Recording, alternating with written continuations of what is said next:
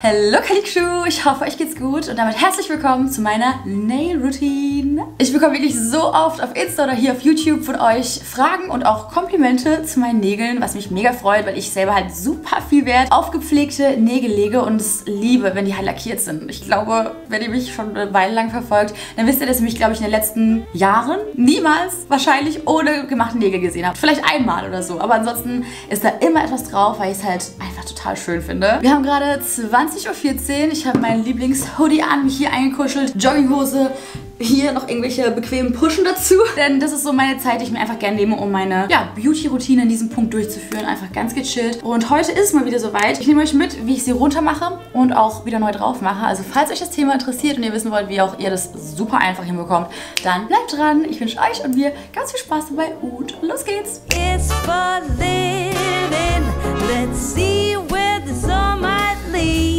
mache meine Nägel so circa alle 10 bis 14 Tage neu. Dann sind die mir auch einfach ein bisschen zu weit rausgewachsen oder ich habe die Farbe satt und brauche da irgendetwas Neues. Ich bin momentan aber auch so obsessed mit dieser ovalen Form. Ich finde, sieht so schick aus. Ich hatte davor irgendwie jahrelang immer diese Ballerina-Form, aber das hier geht noch einfacher. Und wie? Das zeige ich euch jetzt. They said that just one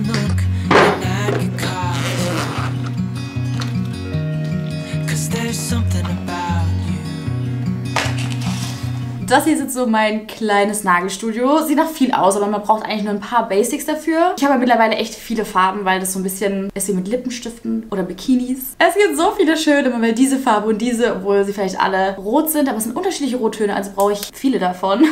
Aber ja, lasst euch davon nicht irritieren. Kommen wir jetzt aber direkt zum ersten Schritt und der auch meistgestelltesten Frage, wie bekomme ich diese Nagellack wieder runter? Ich persönlich benutze für meine Nägel Neonail und Alessandro Lacke und die haben jeweils verschiedene Lösungsmittel dabei, wie man die runterbekommen kann. Ich allerdings bin da viel zu ungeduldig dafür und deswegen knubbel ich die immer ab. An der Stelle nehmt das nicht als bestes Beispiel. Ich würde immer erstmal empfehlen, probiert es genauso aus, wie es der Hersteller von euren Nagellacken sagt, aber ich mache es so. Ich nehme hier so ein Nageltool, was eine Spitze hier hat. Und mit der gehe ich an der Seite unter den Nagellack drunter und versuche da so Luft ranzubringen. Ganz vorsichtig, da muss man sich auch Zeit lassen. Aber das Ding ist halt, dass nach zwei Wochen Tragezeit bei mir das dann auch immer schon locker wird. Ich würde es jetzt nicht nach einem, zwei, drei Tagen machen, wo der Lack erst drauf ist, sondern wirklich dann, okay, ich merke, der löst sich auch langsam von alleine. Zack und ab ist er. Und so sieht mein Nagel dann da drunter aus. Klar, das ist noch nicht schön, da muss man erst noch ein bisschen pflegen, bevor da wieder was drauf kann. Aber ja, so sieht es eben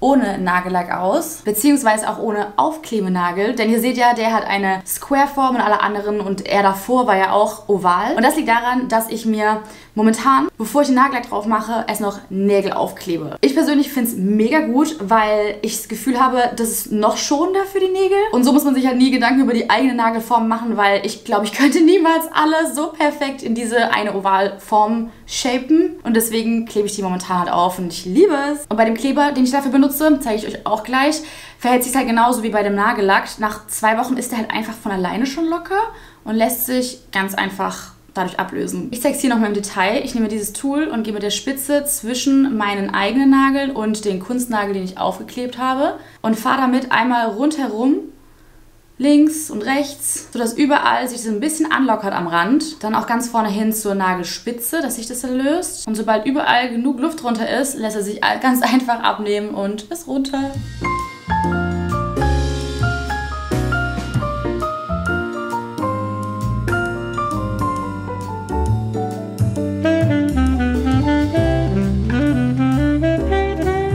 Ja, die sehen jetzt noch ein bisschen rough aus. Da ist zum Teil noch Kleber drauf oder einfach ein bisschen eigener Nagel minimal weggegangen oder noch Lack. Aber das lässt sich ganz leicht fixen. Dafür benutze ich einfach eine Pfeile von Ebelin. Das zwei verschiedene Seiten und da habe ich keine besondere Vorgehensweise. Ich feile jetzt einfach so lange, bis die wieder schön und smooth sind.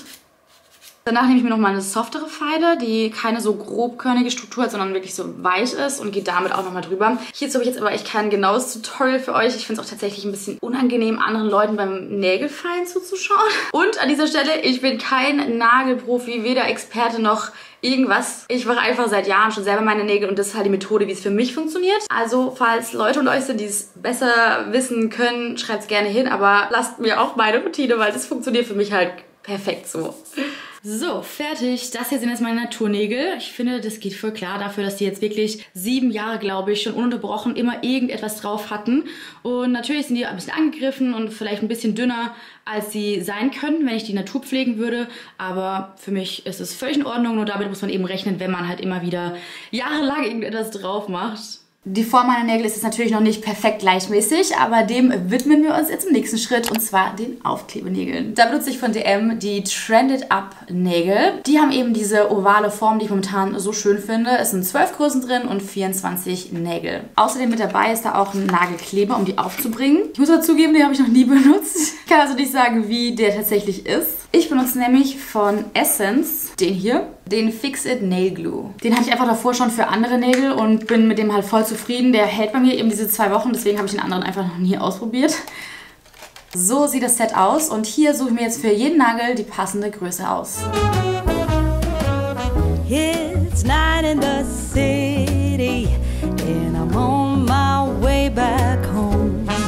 So, hier habe ich jetzt die passenden Größen für die linke und auch die rechte Hand. Die restlichen Größen bewahre ich jetzt einfach auf fürs nächste Mal, weil an manchen Fingern mir auch zwei verschiedene Größen passen würden. Oder ich tausche die tatsächlich manchmal mit der Freundin, die dann die Größen hat und ich bekomme ihre, zum Beispiel kleineren oder so. Und dann, bevor ich die Nägel aufklebe, ist ganz, ganz wichtig, den Nagel nochmal richtig zu reinigen und zu entfetten. Auch wenn man diesen Part jetzt skippt und dann direkt den Nagellack drauf macht, unbedingt reinigen. Denn wenn zum Beispiel die Nägel noch ein bisschen zu fettig sind, dann löst sich der Kleber oder der, der Nagellack danach schneller ab. Und das wollen wir ja nicht. Die linke Hand habe ich jetzt schon mal gemacht und hier seht ihr ganz gut den Unterschied. Die sind halt jetzt deutlich länger. Für mich passt die Länge aber voll. Man kann die aber natürlich auch runterfallen. So, und wie trage ich die jetzt auf? Also ich nehme hier diesen Kleber. Der hat hier vorne so eine Pinselspitze. Und dann trage ich den auf, als wäre das Nagellack. Aber erstmal nur ein Nagel, einmal von hinten bis nach vorne. Schnapp mir dann den Nagel, den ich rausgelegt habe und drücke den hier drauf. Schön bis nach hinten ans Nagelbett und dann einfach festdrücken. So circa 10 bis 15 Sekunden lang. Und dann hält der bombenfest. Deswegen ist es übrigens super wichtig, die Nägel schon vorher alle parat zu legen, denn ihr habt ja gesehen, wie schnell das geht. Und äh, wenn man die noch raussuchen müsste, dann wäre der schon längst wieder getrocknet. Deswegen alles immer vorbereiten. Und auch ganz wichtig, niemals zwischen die Finger bekommen. Also damit könnt ihr euch auch verletzen oder Finger an die Haut zusammenkleben. Ist quasi wie Sekundenkleber halt nur speziell für die Nägel. Also aufpassen. Und nicht zu viel nehmen.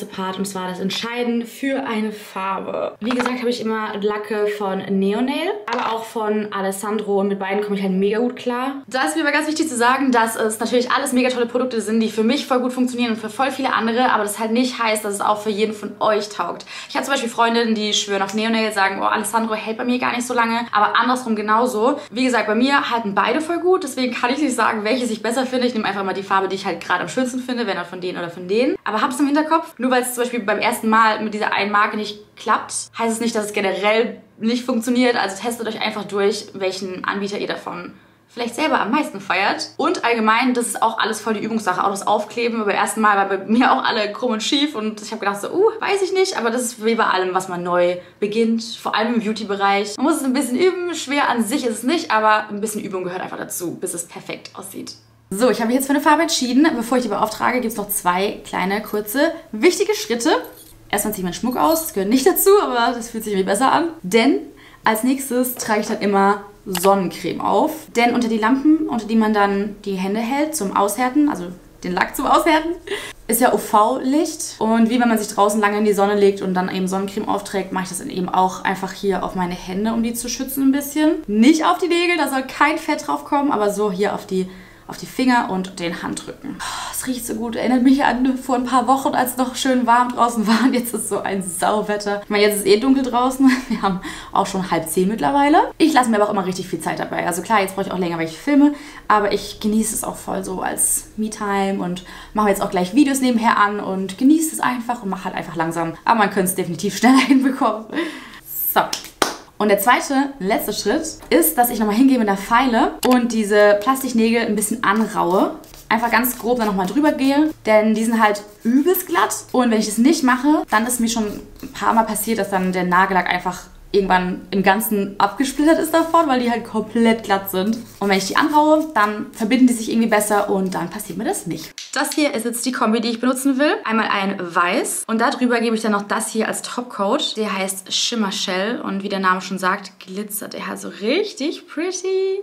So, und dann geht's los mit dem Lackieren und das funktioniert im ersten Schritt eigentlich ganz normal wie bei jedem Nagellack, also einfach die Farbe in dünnen, gleichmäßigen Schichten möglichst akkurat auftragen. Ich finde diesen Part immer so satisfying und ich gehe dann übrigens immer noch mal hin und gehe über die Spitzen, über den Rand vom Nagel vorne so drüber, damit einfach alles schön eingeschlossen ist und dann härte ich die Farbe unter der Lampe aus und da ist es abhängig davon, welchen Anbieter ihr benutzt. Manche müssen 60 Sekunden aushärten, manche 90. Da müsst ihr einfach schauen, für wen ihr euch entscheidet und dann die Gebrauchsanweisung lesen. Ich habe es ja vorhin schon gesagt, aber das ist so richtig meine Me-Time. Ich finde es mega satisfying, die Nägel so richtig schön zu lackieren und nebenbei einfach so ein bisschen zu entspannen. Ich finde es richtig, ja, meditativ schon fast. Sobald der Lack ausgehärtet ist, clean ich meine Nägel nochmal ab und dann haben wir dieses wunderschöne Endergebnis. Oh, die sind so perfekt geworden und vor allem im Vergleich zu vorher mh, hm, lässt es sich auf jeden Fall sehen. Es sieht so toll aus. Mir persönlich geben gemachte Nägel auch irgendwie immer so voll den Confident Boost und ich fühle es einfach, wenn ich damit so klackern kann mit den Nägeln. Ich liebe das Geräusch.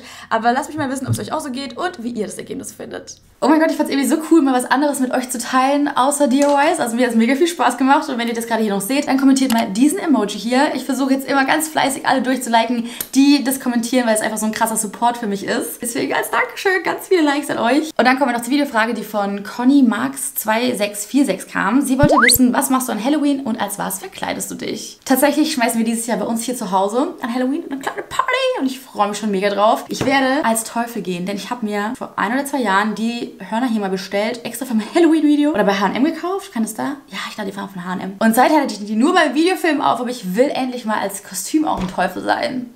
Und das werde ich dieses Jahr. Falls ihr übrigens noch Inspo braucht für Halloween, dann schaut unbedingt bei meinem letzten Video vorbei. Da habe ich euch nämlich richtig coole DIYs, Deko und Food-Inspo hochgeladen. Ich liebe das Video, das ist so cool geworden. Das verlinke ich euch einfach in der Infobox. Und da findet ihr übrigens auch den Link zu meinem Lieblingspullover. Eigentlich kann ich das auch wieder anziehen, weil es kalt genug leider draußen ist. Aber das ist das Gute daran. Das ist der DIY Club Hoodie und den gibt es übrigens gerade, ich glaube, noch viermal in unserer Too Good To Go Kategorie auch reduziert. dass der Print dann so minimal beschädigt. Aber wenn es nicht stört und es ein bisschen günstiger haben will, schaut einfach da gerne vorbei. Immer der erste Link ganz oben in der Infobox. Ansonsten nicht vergessen zu abonnieren, damit wir uns in meinem nächsten Video nächste Woche wiedersehen. Und ich gehe jetzt schlafen. Wir haben nämlich 23.14 Uhr.